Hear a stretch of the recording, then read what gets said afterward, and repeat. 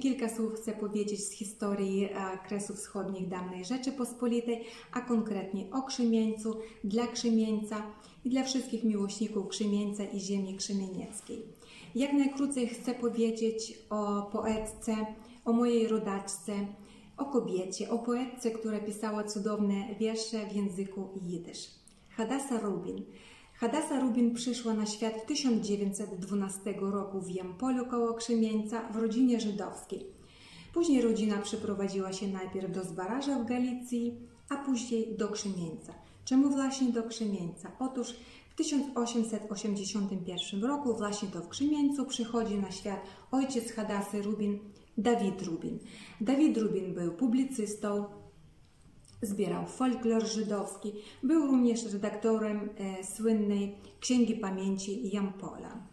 Otóż Hadasa Rubin skończyła, ukończyła polską szkołę średnią w Krzymieńcu i zaczęła pisać swoje pierwsze wiersze.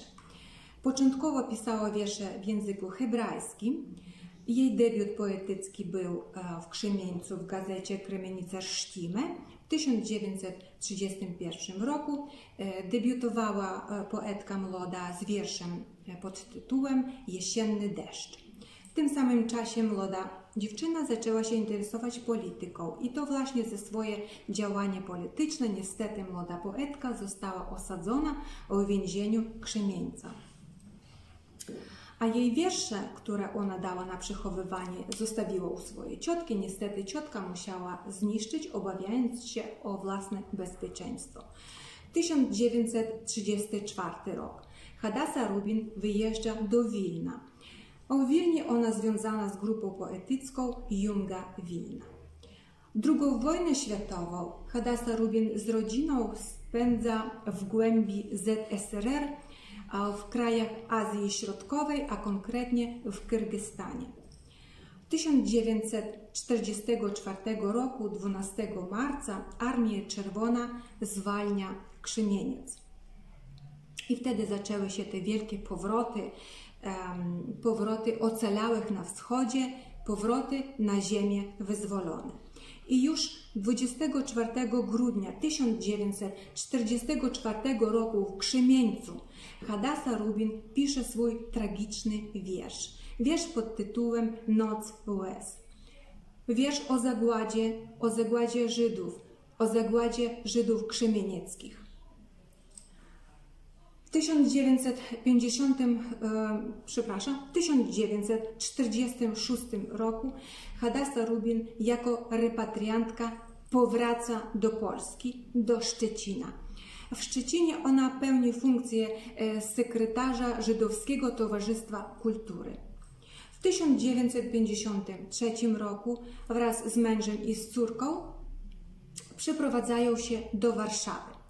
Ale niestety w Warszawie sytuacja tylko się pogorszyła, jak i w całej Polsce, bo w latach 1956-1968 to takie przełomowe lata, kiedy w społeczeństwie polskim narastały już nastroje antysemickie. I bardzo przykro o tym mówić, ale w 1960 roku Hadasa Rubin wraz z rodziną decydują się na zawsze E, wyjechać z Polski, emigrując do Izraela. W Izraelu Hadasa Rubin zamieszkuje e, w śródmieściu Tel Awiwa. E, tam pisze jeszcze cztery tomiki swojej poezji. Pisała do samej śmierci.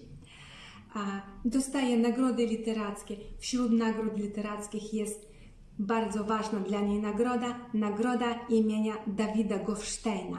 A Dawid Gofstein jest zięciem e, krzemienieckim, tak u nas się mówi, bo jego młoda żona Fejga pochodzi z bardzo starej dynastii Żydów krzemienieckich na nazwisko Reuchel. A, I jeszcze przypomnę, że Dawid Goffstein, jidyszysta, pisarz, e, zrobił tłumaczenie w latach 1920 tłumaczenie e, Kobzarza Tarasa Szewczenki na język jidysz.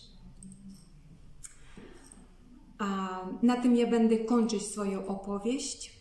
Hadasa Rubin zmarła w 2003 roku w Izraelu.